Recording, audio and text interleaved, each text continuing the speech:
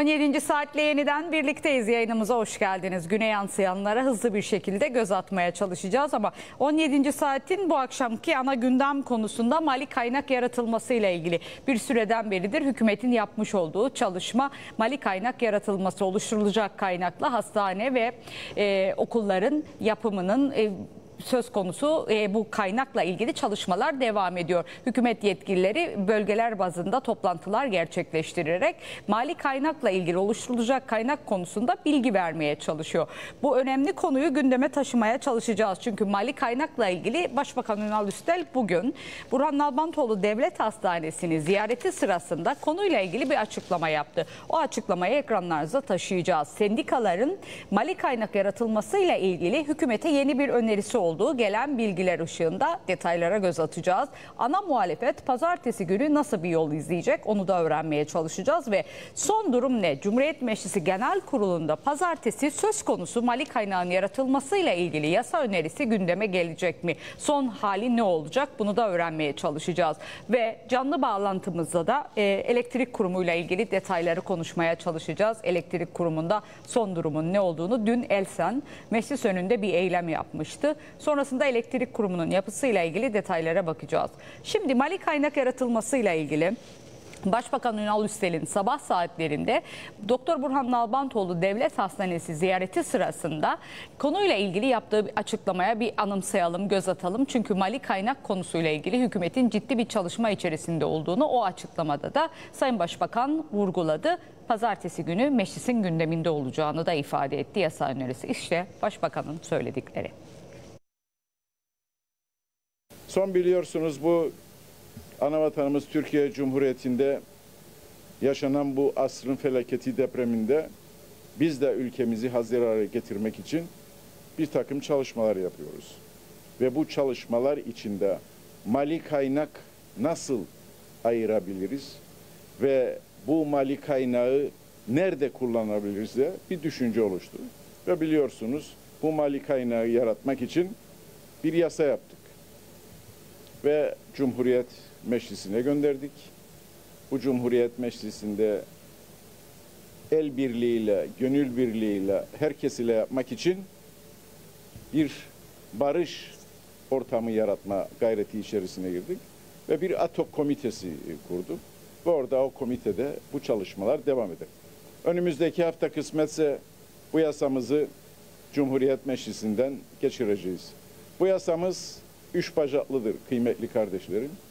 Bir, maaşlardan kısa süreliğine yapılacak kesinti. İki, 2023 bizim hükümetin bütçesinden yaptığımız kısıtlamalar. Üç de ek vergilerle toplayacağımız kaynaklar. Ve özellikle birincisinin üstünde dura dura söylemek isterim. Birinci maaşlardan yapılacak kesintiler yalnız eğitime harcanacak ve ondan sonra da sağlığa harcanacak. Başka bir yere bu paralar gitmeyecek arkadaşlar. Neden bunu böyle yapmak istedik?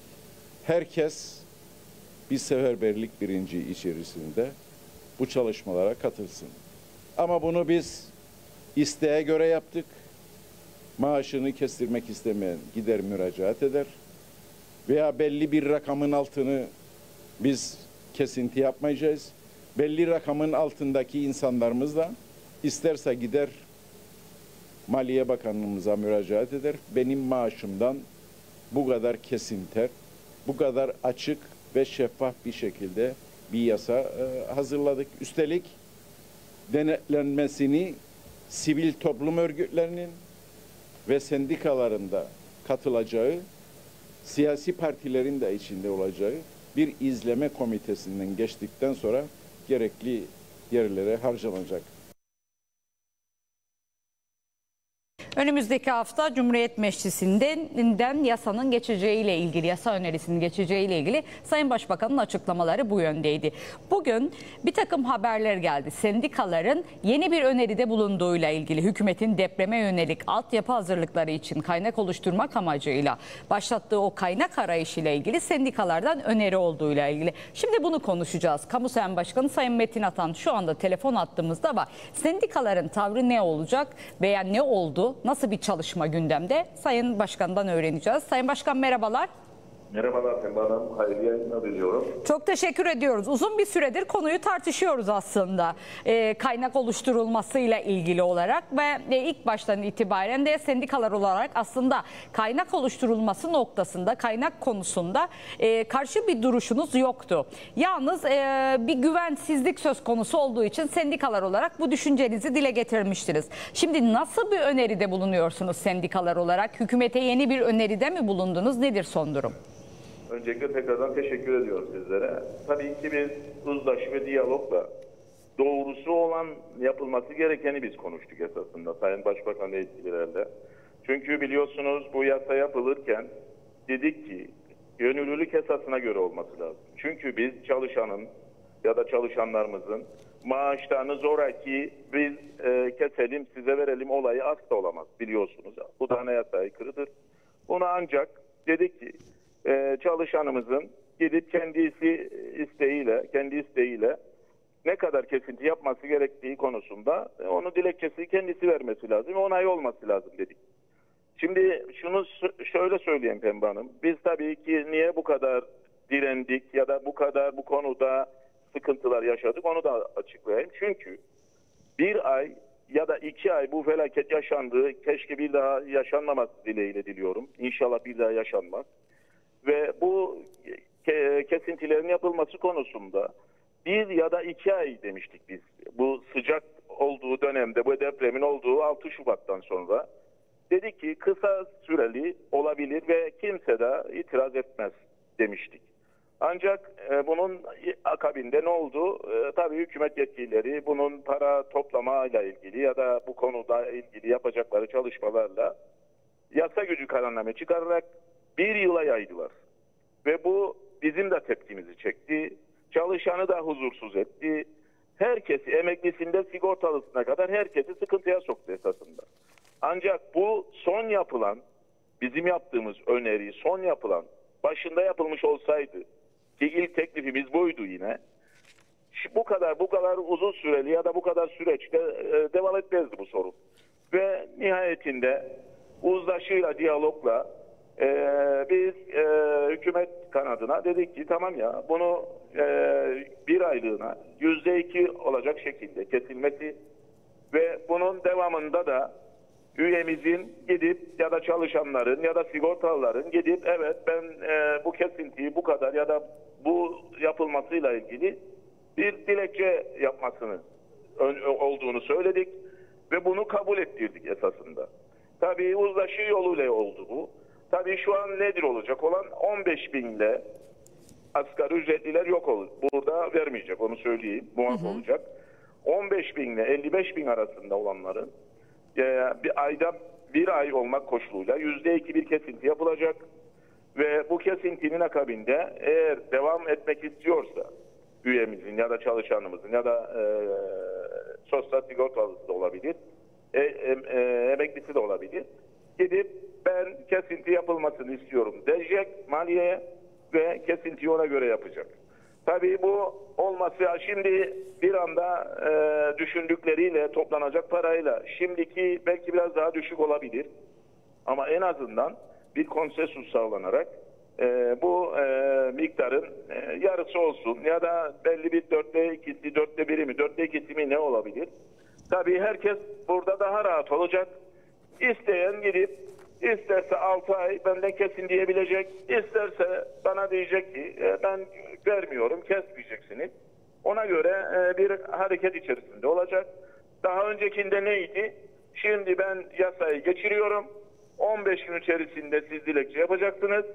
Ben keserim kardeşim ama kesilmesini istemezseniz ben dilekçe yaparsınız ve geri iade ederim demişti. Ee, bu yasa şu anki yasa daha geçmedi. Gerçi soruyla ilgili söylüyorum. Şimdi bunun tersi olacak ve e, bu daha şeffaf, daha hesap verebilir ve insanlar daha gönül rahatlığıyla gidip isterse kesinti yapılmasıyla ilgili yapabilecek. Diğer bir konuysa e, biliyorsunuz biz talep etmiştik. Bu denetim konusunda bu toplanacak parayla ilgili sıkıntılar vardı. Evet. Tabii güven sorunu vardı. Tabii bunu da açıkça konuşalım. Tabii sağ olsun hükümet kanadı. Bize bu güven sorunuyla ilgili tamam sizden talep geldi madem. Bununla ilgili dedi sivil toplum örgütlerinden, sendikalardan, e, mimar mühendislerden ya da mimarlardan bir e, denetim komitesi gibi bir komite kuralım. Buradan çıkacak olan kararın Bakanlar Kurulu'na gitsin. Bakanlar Kurulu'nda yapı onaylansın mantığı güttü ve onu da uzlaştık. Tabii biz e, her zaman için söylüyoruz. E, toplumsal olması lazım. Yapılacak bu zor günlerin aşılması konusunda. Toplumsal olması lazım. Dayanışma içerisinde olmamız gerektiğine inanıyoruz.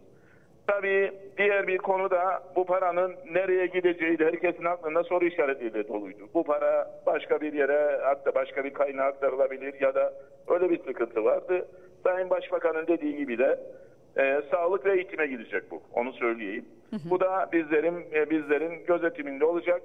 E, en azından şeffaf hesap verebilir bir pozisyona sokacağız diye düşünüyorum. Şimdi son olarak yani sendikalar olarak e, öneriniz ve hükümete sunduğunuzda bir aylık bir kesinti e, diyorsunuz. %2 oranında olacak. 15 bin ve 55 bin arası maaşlardan %2 oranında bir aylık sürelik bir kesinti. Eğer eğer tabii ki 55 ve yukarısı da var biliyorsunuz. Evet. Müsteşar maaşları var. Onlar ne Onlar olacak? tabii ki bu kategoride olacak. Ee, onlar da gönüllü şeyine göre biliyorsunuz ee, yüzde beşti. Ee, 55 ile 75 arasında. Evet. 2 idi. e, ve 75 ve yukarısı 5'ti. Tabii onu artık bilmiyorum. Ee, belki de artırım daha fazla olur mu ya da aynı kalır mı? Onu pazartesi günü e, zaten basın açıklamasıyla sendika sivil toplum örgütleriyle mecliste Sayın Başbakan ve ekibiyle birlikte orada bir basın açıklaması da olacak. Yani demek istediğim ki oluşan şu anki gelişmeler bu şekilde. Yani e, hükümetle aslında sendikalar bir noktada uzlaştı diyebilir miyiz? Evet, evet diyebiliriz. Dolayısıyla pazartesi günü de bunu kamuoyuna paylaşacaksınız. Son dakika farklı bir durum olmazsa e, uzlaştı diyebiliriz. Bu uzlaşı bugün mü oldu yoksa dün mü gerçekleşti Sayın Başkan? Dün başladı. Yetkili sendikalarla çağrıldık. 5 yetkili sendika öncesinde. Daha sonra da diğer sendikalarımız, küçük sendikalarda bunların da onayla alınarak e, uzlaşı sağlandı gibi duruyor. Şu an için söylüyorum. Çünkü yarın ne olacağı belli değil. Onun için ben tam bitti deyip de e, yarın yine bir sıkıntı yaşamamak adına tam net e, ama büyük olasılıkla uzlaşı sağlandı diyebilirim. Dolayısıyla pazartesi günü de hedeflenen aslında sendikalar, sivil toplum örgütleri ve hükümetle e, kamuoyunu bilgilendirme noktasında bir basın toplantısı olacağını ifade ediyorsunuz. Bu toplantının saati belli mi yoksa henüz daha 9, saat 9.30 olacak. Mecliste Mavi Salon'da olacak. Pazartesi günü açıklanacak kamuoyuna bilgilendirme noktasında olacak. Şimdi daha önce sendikalar olarak bir dilekçe hazırlamıştınız. Şimdi Evet, bu evet. dilekçe ne olacak? Kenarda mı duracak? Şimdi bu dilekçe tabii ki bunu bu şekilde olmayacak. Çünkü o ya geçen yasa tasarısına göre yapılmıştı o dilekçe. O neydi? Zoraki ben keserim. Ondan sonra siz dilekçenizi yaparsınız ama şimdi öyle bir şey olmayacak. Herkes gidip kendi isteğiyle benim kesilsin veya kesilmesin. Ee, kesilmesin demeyecek zaten. Kesilmesiyle ilgili maliyeye gitmesi lazım. Dilekçe yapması lazım ki ona göre isterse iki ay, isterse bir ay, isterse 6 ay ya da 9 ay süreç ki e, 9 ay olacağı söyleniyor. Yılbaşına kadardır. E, aralığın ayına kadardır. İsterse e, kesilebilir, isterse ben 2 ay keseceğim, kesilsin diyebilir. Yani o e, kendi isteğine bağlı olacak. Kesinlikle baskı ya da e, zoraki bir durum asla söz konusu değil. Zaten bunu biz bu yönde uzlaşıyla sağladık. Yani kimseye zorla bir yine söylüyorum maaşlardan e, biz sendikalar bile olsak, sorumlu bile olsak çalışanlardan biz o hakkımız yoktur değilim. Ben bu maaştan keseceksiniz ve size bu e, deprem konusuyla ilgili e, kesintiler yapmanıza onay bile biz veremeyiz. Yani şahıs kendi vermesi lazım. O nedenle bu konuda da e, doğru bir yaklaşım olduğunu düşünüyorum. Tek aylık bir kesinti noktasında sendikalar olarak hükümetle anlaştığınızı söylüyorsunuz. %2 oranında. %2 oranında. Çok teşekkür ediyorum Sayın Başkan yayınımıza teşekkür ederim. katılıp bilgilendirdiğiniz için. Hanım. Hayırlı yayınlar diliyorum. İyi akşamlar diliyorum. İyi çalışmalar. Evet sendikalar pazartesi günü sivil toplum örgütleri ve hükümet yetkililerinin pazartesi günü saat e, 9.30'da mecliste bir basın toplantısı yapılacağı ile ilgili e, Sayın Atan'ın bize vermiş olduğu bilgi bu doğrultudaydı. Peki ana muhalefet Cumhuriyetçi Türk Partisi e, nasıl bir tavır sergileyecek? Aynı tavrını devam mı ettirecek pazartesi günü? Bunu konuşacağız. Cumhuriyetçi Türk Partisi adına Grup Başkan Vekili Sayın Doktor Sıla İncirli şu anda telefon attığımızda. Sayın İncirli merhabalar. İyi akşamlar diliyorum Pembe Hanım. Ee, size e, kolaylıklar ve iyi yayınlar diliyorum. Bizi izleyen, dinleyen herkese de en içten sevgilerimi sunuyorum. Çok teşekkür ediyoruz. Şimdi mali kaynak oluşturulması, yaratılması noktasında bir süreden beridir e, çalışmalar devam ediyor. Ama CTP olarak e, pek e, ilk baştan itibaren aslında e, bir çalışmaya katıldı. Sonrasında ad hoc komiteden çekildi. Şimdi sendikalar tek aylık bir kesinti yapılması konusunda hükümetle anlaşma noktasına geldiğiyle ilgili bir açıklama yaptı az önce bize Sayın Metin Atan da ve 15 Evet, bin takip ettim. Evet 55 bin arası %2'lik bir kesinti. CTP'nin düşüncesi nedir? Gelinen bu noktada değerlendirmeniz ne olur Sayın İncirli? Pembe Hanım aslında biz işin en başından beri bu sürecin nasıl yönetilmesi gerektiği konusunda e, görüşlerimizi ortaya çok açık bir şekilde koymuştuk. E, e, hükümetin işte biz yaparız olur, biz böyle karar verdik, bu böyle olacak tavrıyla e, herhangi bir mesafe alınamayacağını en baştan söylemiştik. Nitekim dediğimiz gibi oldu ve haftalardır ülke gündeminde bu sorun var, bu konu var e, ve bir huzursuzluk da oluştu. Çünkü başlangıç noktası iktidarın yasa gücünde kararnameyi getirdi. Biz bu kesintilere gidiyoruz dedi. Biz onlara kalem kalem e, nerelere harcanacak bu kaynak bunu belirtin diye ısrar ettik. E, sonra bu kalemlerin oluşturulmasıyla ilgili e, baskı uyguladık kendilerine.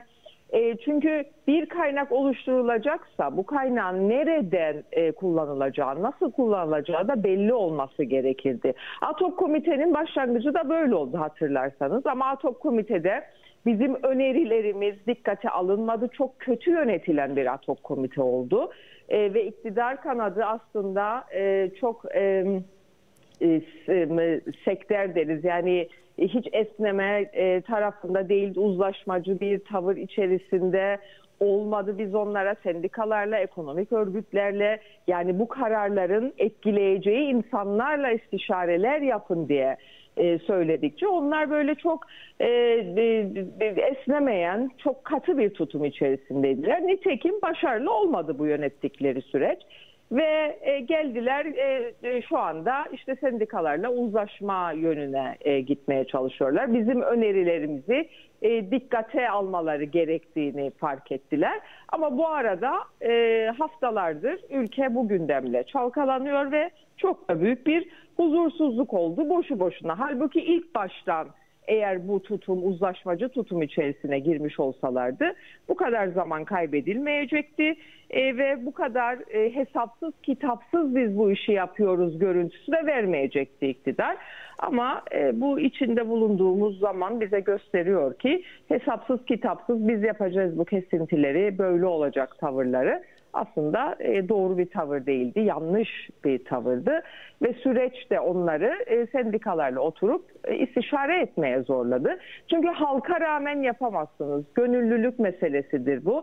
Siz insanların maaşlarından kesecekseniz o insanlar bilmek isterler devlet kanadının ne kadar tasarruf edeceğini, ne kadar israfı önleyici tedbir alacağını bilmek isterler. Kesilen paraların nereye gideceğini insanlar bilmek isterler. Bu paralar harcanırken, bu planlamalar yapılırken karar alma süreçlerinde olmak isterler. Nitekim sendikalarda bizim komitede de söylediğimiz şeyler bunlardı. Onlar da e, benzer önerileri ortaya koydular. Tabii son şeklini bilmiyoruz Pembe Hanım. Pazartesi göreceğiz biz son şeklini. E, ve bunu da kendi aramızda değerlendirip e, Meclis Genel Kurulu'ndaki tavrımızı belirleyeceğiz. Ama bu bize bir şey gösterdi. Ee, yıllardır aslında böyle bir fırsatçı tutumu oluyor maalesef. Yani 47-2010'u hatırlayın. O dönemki dünyada olan ekonomik kriz bahane edilerek 47-2010 sayılı yasa geçmişti. İnsanların maaşlarından ciddi kesintiler olmuştu. Daha sonra emeklilerin maaşlarının, vergilerinin arttırılması ile ilgili çabalar olmuştu. Yani bu ilk değil. Yani Evet. halk da artık öğrendi bunu. E, dolayısıyla e, bu kesilen yani yapılacak olan fedakarlıkların e, insanlar şimdi bir fedakarlık yapacaklar bir ekonomik kriz ortamında. Bunu da yapmaya gönüllüdür aslında insanlar. Yani biz de muhalefet olarak bu depremden sonra ortaya çıkan yeni ihtiyaçlar olduğunu hiçbir zaman yatsımadık. Ve bu ihtiyaçlar için kaynak oluşturulması gerektiğini de söyledik. Ama bu kaynağın nasıl oluşturulacağı, nasıl kullanılacağı konusunda e, hükümet işte e, sondan başladı. Yani baştan yapması gereken şeyleri işin sonunda yaptı. E, ve bu da e, bize zaman kaybettirdi. Tabii bu kesintiler yapılırken e, biz şu uyarıları da yaptık. Çünkü vergilerde de bir artış e, olacak ve bu vergilerdeki artış nedeniyle kayıt altında olan e, kurumsal e, şirketlerin de e, zorluk e, yaşayacakları ve kayıt dışılığı da e, e, teşvik edecek uygulamalardan kaçınılması gerektiğini defaatle söyledik. Ekonominin daralmadan, daraltılmadan bu sürecin sürdürülmesi gerektiği uyarılarını yaptık. E, ancak o zaman e, hem kaynaklarımızı oluşturabiliriz hem de, e, de halkı toplumumuzu e, huzursuz etmemiş oluruz. Günün sonunda pazartesi günü son halini göreceğiz. Çünkü e, Metin Bey'in de konuşmalarından anladığım kadarıyla tam bir e, netlik söz konusu değil. E, zaten yasada komiteye geri çekilemediği için öyle anlıyoruz ki genel kurulda önerilerle şekillendirmeye çalışacaklar. Biz hepimiz orada olacağız. Bütün Cumhuriyetçi Türk Partisi vekilleri, bütün grubumuz orada olacağız. Süreci pazartesi günü genel kurulda çok yakından takip edeceğiz. Çok teşekkür ediyorum yayınımıza katıldığınız için. Kolay gelsin diyorum. Hafta başı yeniden gündemdeki bu konu başlığını konuşacağız. İyi çalışmalar diliyorum. İyi akşamlar, hoşçakalın. Evet, CTP'nin tavrının ne olacağı pazartesi günü son şeklini gördükten sonra genel kurulda şekillenmesiyle e, ona göre bir değerlendirmeleri olacak. Şimdi konuyu bu kez Ulusal Birlik Partisi Grup Başkan Vekili aslında e, söz konusu yasa önerisini e, günlerdir konuşan, tartışan, anlatmaya çalışan UBP Milletvekili Sayın Özdemir Berova şu anda telefon attığımızda. Sayın Berova merhabalar. Merhabalar, iyi akşamlar, iyi yayınlar diliyorum. Çok teşekkür ediyoruz. İyi çalışmalar diliyorum. Yasa önerisini e, kamuoyunu bilgilendirme noktasında çalışmalarınız devam ediyor ama bugün sıcak gelişmeyle ilgili sendikaların bir uzlaşı noktasında olunduğuyla ilgili e, Kamu Sen Başkanı Sayın Metin Atan'la da konuştuk. E, tek aylık bir kesinti konusunda bir uzlaşının söz konusu olduğuyla ilgili ifadesi var. Sözü size bırakalım. Pazartesi günü nasıl bir e, şekillenme ve çalışma söz konusu olacak yasa önerisi üzerine Sayın Berova? Evet, e, bugün biz de e, ilçe gezileri yaparak bu yasayla ilgili halkımızı ve partilerimizi bilgilendiriyoruz. Bu vesileyle Lefke'de, şimdi de Güzelyurt'ta e, bir toplantı gerçekleşti. Yarın da İskele, Gazi Mausa ve Lefkoşa'da olacak. Dün de biliyorsunuz Gizne'de olacak. E, bu yasa önerisiyle ilgili esasında 21 gelir kaynağı olmasına rağmen e, maaş kesintileri ön plana çıkmıştı. E, bu konuda Sayın Başbakanımızın son 2-3 gündür e, büyük alo Dinliyorum Sayın Berova sizi. e, son 2-3 gündür yoğun temaslarda e, bulunuyor ve bu bağlamda baktığımız zaman da bir sendikalarla bir uzlaşı noktasına vardık. Ve pazartesi günü saat 9.30'da Mavi Salo'da, Kuzey Kıbrıs Türk Cumhuriyeti Meclisi Mavi Salo'da yine sendikalarla buluşup arkasından bir basın toplantısı ile e, bu mevcut anlaşma e, kamuoyunun da bilgisine gelecek. E, şimdi bugün itibariyle e, detayları Sayın Başbakanımız ilçe gezilerinde açıkladı. Ama daha basına düşmediğini biliyorum. O yüzden detay konusunda Sayın Başbakan'ın açıklamasından önce benim bir şey söylemem çok doğru olmaz.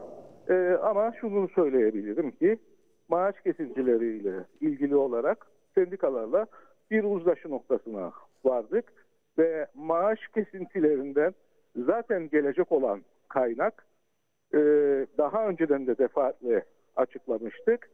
Sadece ve sadece okul bakım onarım ve hastane bakım onarım e, amacıyla kullanılacak. Çünkü gider kalemleriyle ilgili olarak esasında ana muhalefet partisiyle de uzlaştığımız bir 15-16 tane gider kalemimiz vardı. Ama maaşlardan yapılacak olan kesintiler sadece ve sadece okul bakım onarım ve hastane bakım onarım için kullanılacak. Bu tüm gelirlerin geldiği özel kalemin e, deki kaynağın nasıl kullanılacağı da e, tabii bir komisyon tarafından belirlenecek ve bu e, komisyonda dört hükümet tarafından üst düzey kamu görevlisi, e, dört de sivil toplumdan e, oluşan, sendikalardan oluşan, sanayi odasından oluşan, pardon ticaret odasından oluşan, e, İnşaat Müteahhitleri Birliği'nden e, oluşan, Mimar ve Mühendisler Odası'ndan e, oluşan birer temsilcinin de e, katılacağı dört tane e, üye de bu kaynağın, tüm kaynağın kullanımını e, onlar da e, hem o alanda öncelikleri belirleyip hem de Bakanlar Kurulu'na bu öncelikler çerçevesinde kaynağın kullanım alanları ve hacmi konusunda e, e, şey verecekler, e, öneri verecekler. Evet. Bakanlar Kurulu da bu vesileyle bunları deney, e, değerlendirip onaylayacak. Yani kısaca gelirleri belli, gider alanları belli ve kullanımının özel bir e, komisyon tarafından yapılacağı ve izleneceği bir yapı içerisinde yasamız yürürlüğe girecek. İnşallah ülkemize bu yasak kapsamı çerçevesinde toplanan kaynaklardan da e, o yapılacak olan e, işlemlerle ülkemizi doğal afetlere ve depremlere karşı daha dayanıklı, e, daha güçlü kılacağız. Şimdi Sayın Atan %2'lik kesinti dedi. 15 bin ve 55 bin Türk lirası arasında %2 kesinti dedi. Şimdi söz konusu yasa önerisi pazartesi günü meclisin gündeminde olacak Sayın Berova. Evet, meclisin zaten gündeminde ilgili maddeyle ilgili düzenleme içinde e, önergemizi hazırladık ve bu önerge çerçevesi içerisinde bunu sunacağız. Demin de ifade ettiğim gibi e, detaylar biraz sonra Sayın Başbakan'ın açıklamaları basına düşecektir. Benim onun açıklamasından önce bir detay vermem şık olmaz.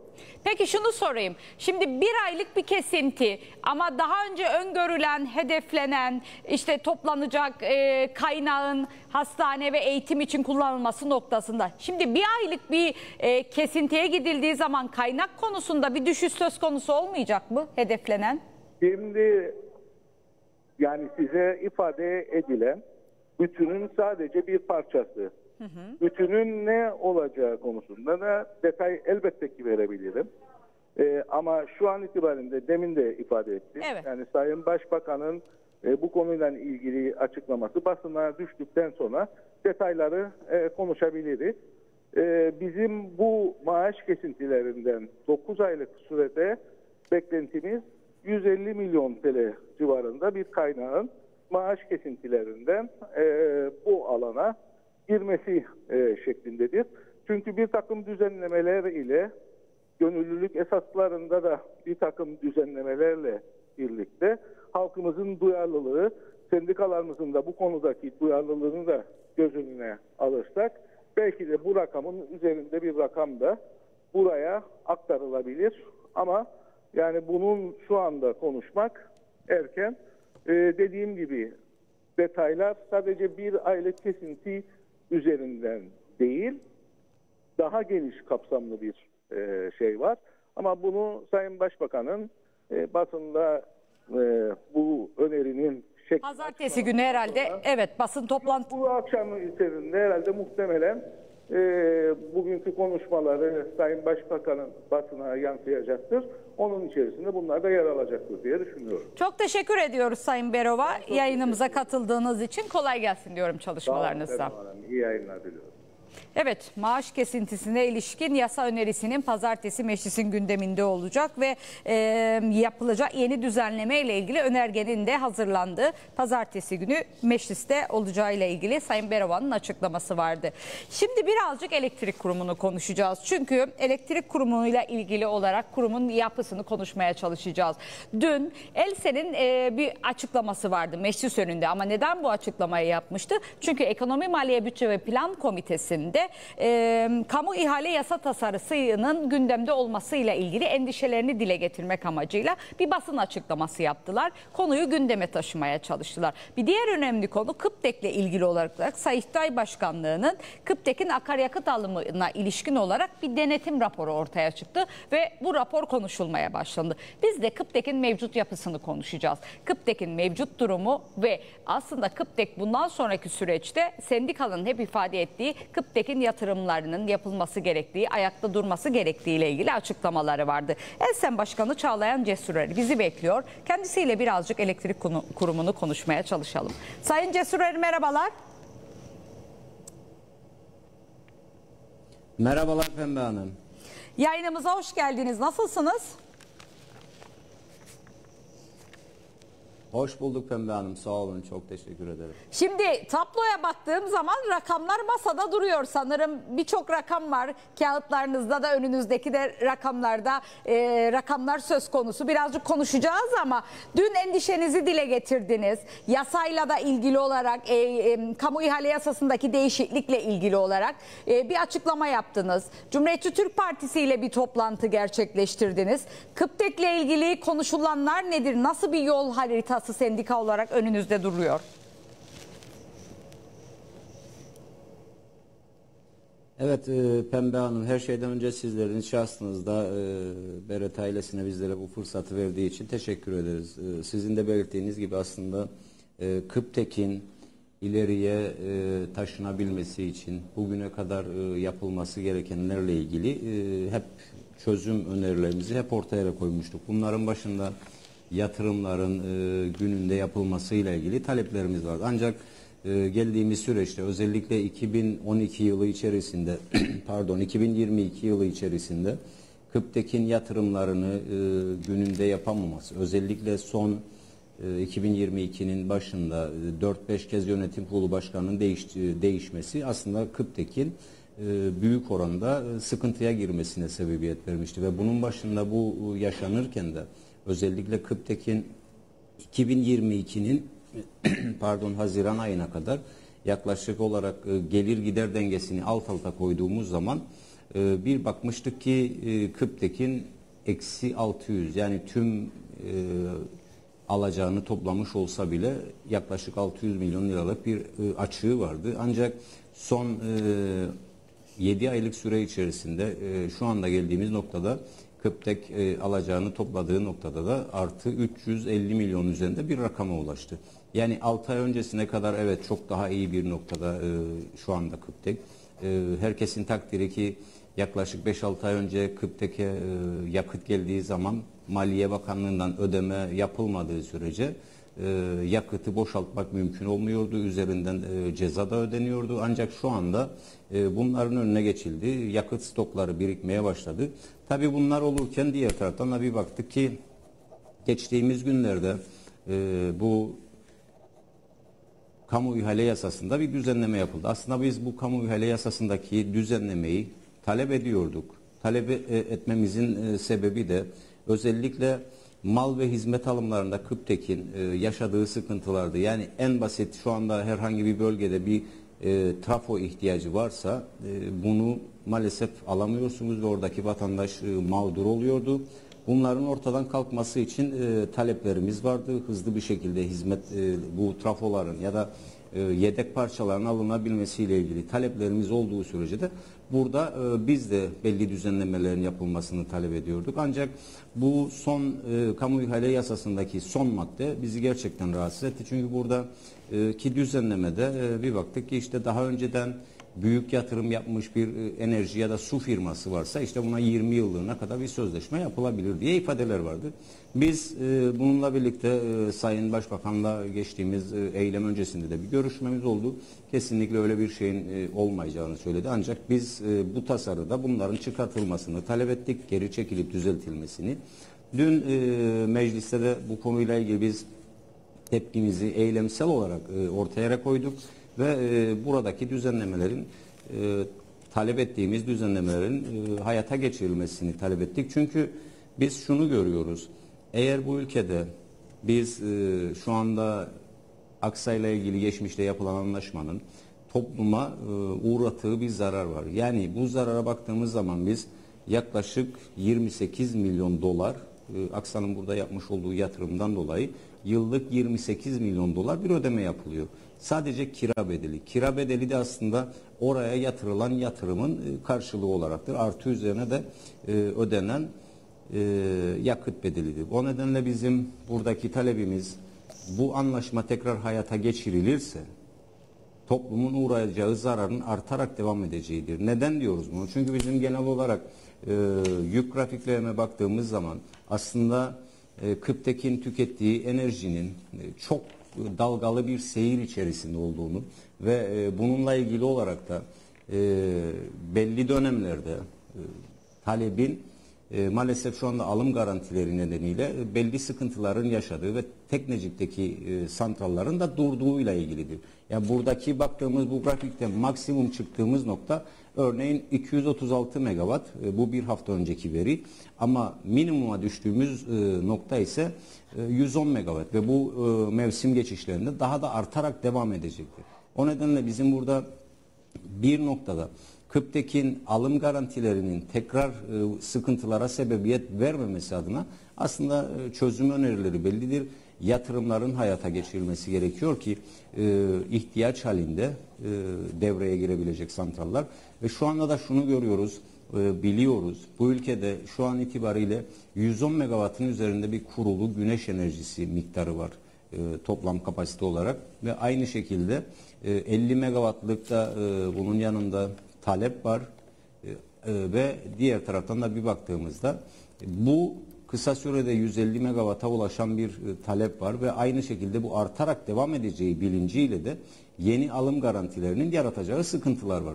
O nedenle e, bunun e, gerek güneş gerek rüzgardan daha e, iyi bir noktada faydalanabilmek için doğru planlanması lazım. Elbette ki şu andaki kapasiteye baktığımız zaman e, neredeyse dol aslında neredeyse değil dolmuş noktadadır. Ama e, belki süreç içerisinde şu anda e, enerji yasasında özellikle bu e, güneş enerjisiyle ilgili şu anda bir düzenleme yapılıyor ve burada belli alanlarda belki de depolamanın e, da hayata geçirilmesiyle birlikte daha e, verimli bir şekilde kullanılabilecek, daha aktif bir şekilde kullanılabilecek.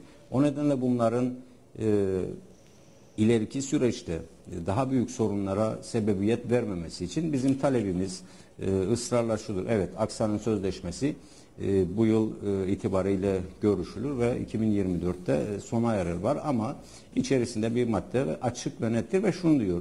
Kıptek e, talep ettiği noktada bu sözleşmeyi 3 yıl daha uzatabilir. O nedenle eğer siz bu sözleşmeyi 3 yıl daha uzatabilirseniz tüm yatırımlarınızı yap- yapabilirsiniz. E, şunu rahatlıkla söyleyebilirim. Kıptek çok kısa sürede toparlanabilir. Bunu biliyoruz. Örneğin 2012 yıllarında Kıptek'in e, genel olarak baktığımızda o dönem 350 milyon doları aşan bir borcu vardı. Bu borç kısa sürede kapatılıp e, yeni santralların alımı başlandı ve o dönemlerde hatırlıyorsunuz Güney Kıbrıs'a da e, 70 megawattın üzerinde enerji satışı gerçekleştiriliyordu. Ve e, o dönemlerde 120 bin tane elektronik sayaç e, sisteme dahil edilmişti. Ve çağrı merkezi e, SCADA sistemi kurulmuştu. Ve 2018 yılında da e, bu aynı şekilde e, 350 milyon TL kurumlar vergisi ödeyen bir KÜPTEK vardı.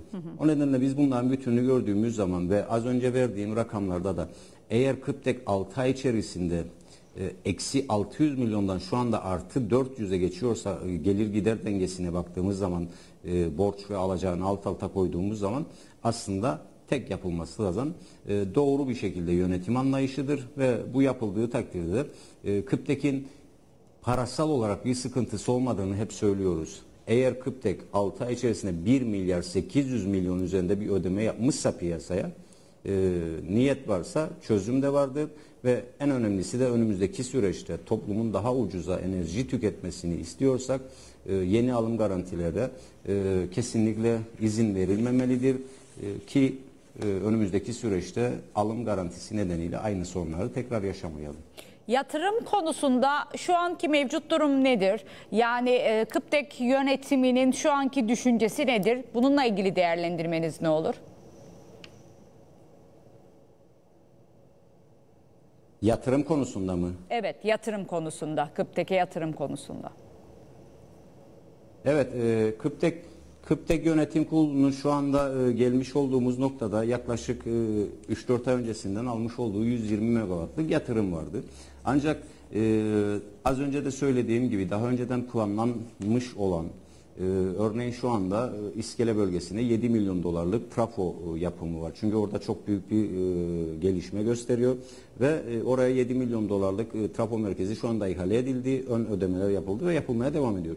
Bunun yanında 120 megawattlık santralla ilgili Kıptek Yönetim Kurulu'nun almış olduğu kararla birlikte biz e, kurum müdürlüğüyle yönetim kurulunun almış olduğu kararlar çerçevesinde de e, iki tane santralın, iki ünitenin yani e, 29-30 megawatt 40 megawatt arasındaki iki e, ünitenin e, toplamda yani 40 megawatt bunun yapılmasıyla ilgili şu anda genel şartnameler hazırlandı.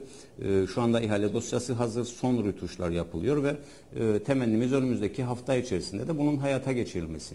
Bu noktada da bu hayata geçirildiği noktada da aslında e, Kıptek'in bu süreç içerisinde yapması gereken yatırımlara baktığımız zaman genel olarak e, bunu Kıptek e, önümüzdeki süreçte kısa bir şekilde tamamlayabilir.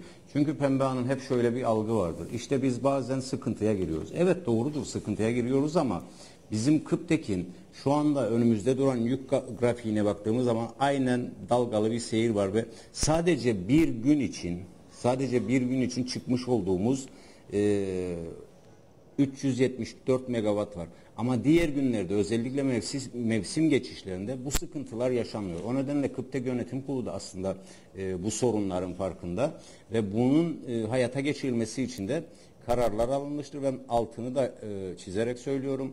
Bu iki ünitenin ardından da diğer ünitelerin yapımıyla ilgili şu anda en azından Kıptek Yönetim Kurulu'nun almış olduğu kararlar var. Biz sadece şunu diyoruz.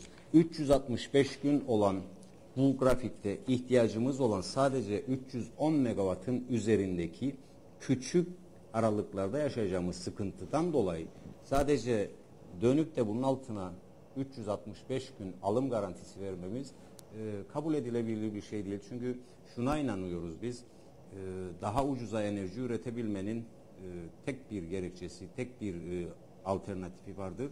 İhtiyacınız anında santrallarınızı devreye koyabilmektir.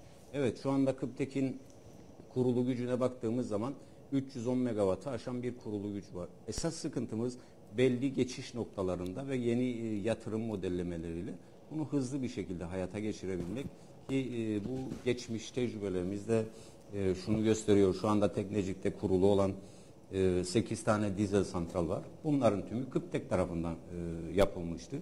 E, Bugün 132 kilovata geçerken havai hatlar e, yapılırken bunlar Kıptek tarafından yapılmıştır. Önemli olan e, iradedir. Şu anda Kıptek yönetim kurulunda temennimiz e, bu hazırlanan e, genel şartlarla ihale dosyasının hızlı bir şekilde hayata geçirilmesi. Çünkü e, süreçler alıyor ve süreçler alırken aslında şunu da belirtmekte fayda var. Özellikle şu anda belli firmalar var. Kıptek'e gelip çağrıda bulunuyor. İşte biz eğer ihtiyacınız varsa e, kısa sürede yeni santrallar, yeni fiyatlar, alternatifler ortaya koyuyorlar. Ama biz e, tümüne söylediğimiz e, genel olarak Kıptek'in ihtiyacı olan bu kadar dalgalanmalı bir süreçte yani bir bakıyorsunuz ki talebiniz e, 100 megawattın altına düşüyor ve artarak devam eden bir güneş enerjisi sistemi var. Bundan daha verimli bir şekilde faydalanabilmek için mutlak surette de alım garantisinin orta yerde olmaması lazım. Eğer alım garantisi orta yerde durursa şu andaki rakamlarla 28 sanırım e, Amerikan borsasına bağlı olduğu için de e, şu anda 30 milyon doları aşmış bir yıllık kira bedeli var. Bunun karşılığı 540 milyon dolardır. Bu parayla sat, e, zaten santral e, her yıl Kıptek 2-3 tane santralı çok rahatlıkla yapabilir ve e, mevcut durumda da e, bunu yapabilecek güçtedir. Çünkü e, Kıptek'in şu anda az önce bahsetmiş olduğum e, genel borçlarına baktığımız zaman alacak vereceğine aslında Kıptek'in şu anda e, aylık olarak e, rakamlarına baktığımız zaman e, 500 milyonu aşan aylık bir toplamı var. O noktada Kıptek'in aslında genel sorunu gününde yapılmayan yatırımların getirdiği sıkıntılardır. O nedenle şuna inanıyoruz. İrade ortaya konulsa bu kadar küçük bir ülkede e, sorunların çok hızlı bir şekilde çözülebileceğinizi ve bunun da e, nasıl ki 2012'de bir taraftan güneye enerji satarken e, diğer taraftan da genel arz güvenliği tamamen sağlanmıştı. Bunun hızlı bir şekilde yapılabileceğine biz e, inanıyoruz E, ve şunun da bilinmesinde fayda var. Hiçbir zaman siz bir yatırımı yaparken e, tamam işte hiçbir firma size bu parayı yarın getir benim kasama koy demez. E, geçmişte yapılan örneklerde gibi e, firmalar gelir oturursunuz ve bunu 3 yılda e, ödemek kaydıyla belli periyotlar çevre, e, çerçevesinde bunlar yapılabilir. O nedenle e, biz şu anda en azından Kıptek yönetim kurulu arka arkaya olmuş o aldığı kararlar var. Ama bunun son e, şeklini dediğim gibi önümüzdeki bir hafta 10 günlük bir süre e, yönetimin bu konudaki samimiyetini bizlere gösterecek. Şimdi noktalayacağız yönetmenim uyarıyor ama Kıptek'in Aksa'ya borcu var mı? Evet şu anda e, Kıptekin Aksa'ya olan yaklaşık sadece borç zaten Aksa'ya kaldı. Bu arada 1 milyar 800 milyon gibi bir rakam ödenirken şu anda Aksa'ya e, bugün 20 milyon TL gibi bir ödeme yapıldı. Ancak e, Aksa'ya toplamda şu anda 1 milyar TL gibi e, bir borç var. Ama dediğim gibi bu 1 milyar borcun yanında da diğer taraftan alacakları e, devletten 600 milyon üzerinde e, diğer kurum kuruluşlardan alacakları ve bunları alt alta koyduğumuz zaman da e, artı 400 noktasındadır. O nedenle şu bilinsin. Aksa'ya olan 1 milyar liralık borcun aslında Kıptek'in düşünün bir e, herkes bunda fazla e, bir matematik ya da bir e, hesap bilgisine fazla gerek yok. Eğer sizin aylık topladığınız rakam 500 milyonu aşıyorsa bu Kıptek'in 2 aylık toplayacağı rakamdır. O nedenle burada zaten e, ilk defa bu geçtiğimiz süre içerisinde yavaş yavaş Aksa'ya ödemeler yapıldı. Çünkü aylardır, yıllardır e, az önce belirtmiş olduğum o 1 milyar 800'ün üzerinde ödeme e, yaklaşık bir buçuk iki yıl arasında Kürtek'e yapılan hizmetlerin ödenmemesinin karşılığıydı. O yüzden bunların tümü ödendiği için örneğin bugün e, itibariyle e, Aksa'ya 20 milyon TL gibi bir ödeme yapıldı ve e, bu planlandı. Planlandığı şekilde de diğer devlet borçlarıyla birlikte ki şunun da altını çizerek söylüyorum. Evet belli borçlar var ama bugüne kadar da Maliye Bakanlığı'ndan Kıptek'e ciddi ödemeler yapıldı ve e, bugünlerde de yeni ödemelerin yapılacağı bilgisine mev, e, bizde mevcut. Şimdi noktalayacağız ama mevcut tablo bu şekilde bize anlatmaya çalıştınız. Yatırım da yapılması gerekiyor. Kaynak konusunda sıkıntı oluşmaz mı önümüzdeki süreçte? Ee, Kıptek'in mali durumu yani e, geçmiş e, aylara 6 ay öncesine göre daha iyi bir noktaya doğru gidiyor ama bir yandan alacağı var bir yandan vereceği var. Yatırım noktası nasıl aşılacak? Evet, e, şunu şunun kesinlikle bilinmesinde fayda var. Şu anda aynı şey az önce söylediğim ifadede şu var. Kıptek şu anda İskele bölgesine 7 milyon TL'lik trafo merkezi yapımına başladı. Yani aslında Kıptek 7 milyonluk trafo merkezini e, İskele'ye şu anda yapıyorsa bir santralın fiyatı da 7 milyondan fazla değildi. O nedenle bu rakamlar, bu yatırımlar Kıptek için sadece irade meselesidir. Az önce söylediğim çerçevede eğer Kıptek 3 6 ay öncesine kadar eksi 600'deyse ve şu anda artı 400 görünüyor hesaplarında ben bunu iddia ediyorum ki bir seneye kadar aynı tablo devam ettiği e, yatırımlarla birlikte Kıptek devlete nasıl 3-4 yıl öncesine kadar 300 milyon lira, kur- 350 milyon lira kurumlar vergisi ödeyebildiyse bunu aynı şekilde yatırımlarına da devam edebilip e, edip yapabilecek bir noktada. Burada önemli olan şudur. Kıptek e, Kıptek'in ürettiği maalesef diğer e, zepse meyveye benzemiyor. Yani ürettiği siz düğmeye bastığınız anda talep karşısında e, gündeme geliyor. O nedenle burada e, ekonomik olarak biz geçmişte de bunu yaşadık. Az önce verdiğim örnekte 350 milyon dolar o dönem e, rakamlarla baktığımızda aslında şu andaki rakam e, 100 milyon dolar bile değil. O yüzden şu anda Kıptek bu şartlarda rağmen 7 milyon dolarlık traho merkezi yapıyorsa ve diğerlerini de e, hazırlığını yapıp e, çıkmaya çalışıyorsa aslında bir santralın fiyatı da 7 değil. Yani bunu gözümüzde büyütmenin bir anlamı yok. Burada sadece ve sadece e, iradedir. Biz inanıyoruz şu anda hayata geçirilmeye çalışılan bu yatırımlar temennimiz bu önümüzdeki süreçte hızlı bir şekilde hayata geçirilir.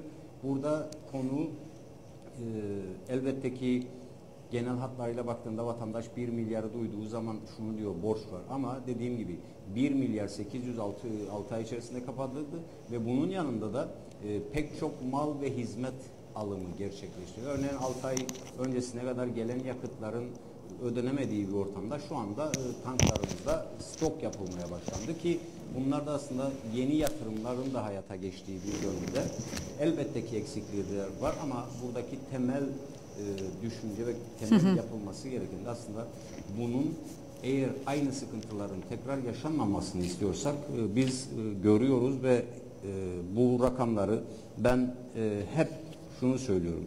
2002 yılından beri e, hep e, bu santrallar yapılırken sendikanın içindeydim. Kıp'teki her ünite kurulunda. O nedenle Kıptek'in yapısının e, ne kadar güçlü olduğunu ben biliyorum. O nedenle Kıptek eğer burada o irade konulursa arkası çorap söküğü gibi gelebilir.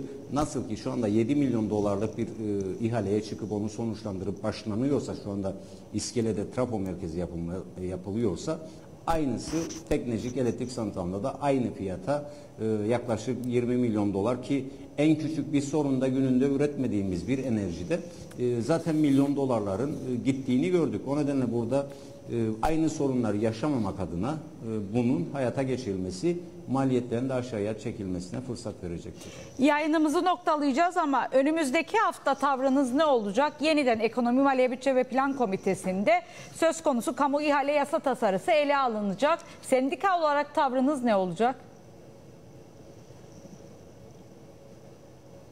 Evet Pembe Hanım biz e, hep şunu söylüyoruz. Biz hiçbir zaman kavganın tarafında olmak niyetindeyiz. Bizim derdimiz e, ileride yaşanabilecek olan sorunların çözümüyle ilgilidir. Biz e, yapmış olduğumuz girişimlerde e, bu yasa tasarısının genel hatlarıyla düzenlenmesini bekliyoruz. Temennimiz bu yasa tasarısının genel çerçevesinin acil ihtiyaçları karşılamak için düzenlenmesiyle ilgilidir. Elbette ki biz önümüz geçmiş günlerde açıklamış olduğumuz eylem planlarımız vardı. Eğer bu aynı şekilde bu şekilde e, yasallaşmak için meclise girirse biz net ve açık söylediğimiz bir şey vardı. Bu bizim için süresiz grev nedeni. Çünkü biliyoruz başka kıt tek yok. Eğer bu topluma e, şu anda tek e, gailesi var Kıptek'in aslında e, fasıl 170-171 pardon yasalarına göre de kar amacı gütmeden enerjiyi sağlamak, arz güvenliğini sağlamak. O yüzden şu anda önümüzdeki bu süreçte de e, önümüzdeki hafta içerisinde temennimiz bu yasanın aslında e, bu şekilde değil belli hizmet alımlarıyla ilgili evet olabilir. Çünkü geçmişten beri az önce de söylediğim gibi en basit trafoyu bile almak 3 ay sürüyorsa bunların düzenlenmesini biz de talep ediyorduk. Geçmişte Kıptek kendi başına gidip santraller almıştı. Örneğin son iki üniteyi kendi başına gidip almıştı. Ama ne çıkmıştı ortaya orada da? 13 milyon dolara gelen santralları 9 milyon dolara almıştı tanesini. Yani artıları var ama burada e, bu yapılırken de e, içerisine çok dikkat edilmesi gerekir ki e, ileriki süreçlerde yeni alım garantilerinin önünü aşmaması gerekiyor ki bizim en büyük hassas olduğumuz nokta alım garantilerinin yaratacağı miktarı sıkıntı vardır. Çok teşekkür ediyorum Sayın Başkan. Zaman ayırıp yayınımıza katıldığınız için kolay gelsin diyorum. Yeniden birlikte olacağız. Şimdilik hoşça kalın. Ben teşekkür ederim. Sağ olun. iyi yayınlar.